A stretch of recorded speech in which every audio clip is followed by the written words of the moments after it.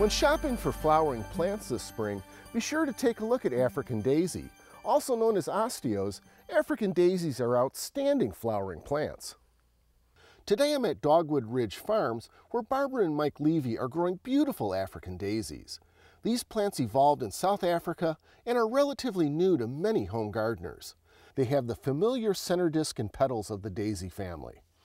The popular Serenity series will grow 10 to 14 inches tall and reach up to 20 inches wide in the landscape.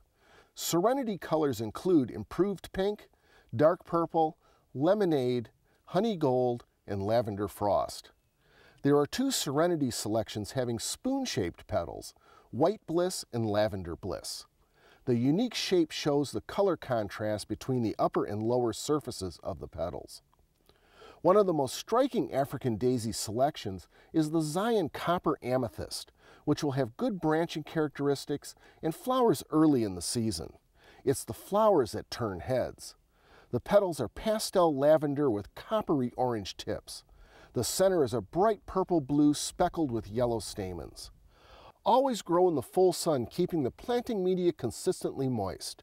Add water-soluble fertilizer weekly to promote continual flowering. So go ahead and try some African daisies in your garden this spring.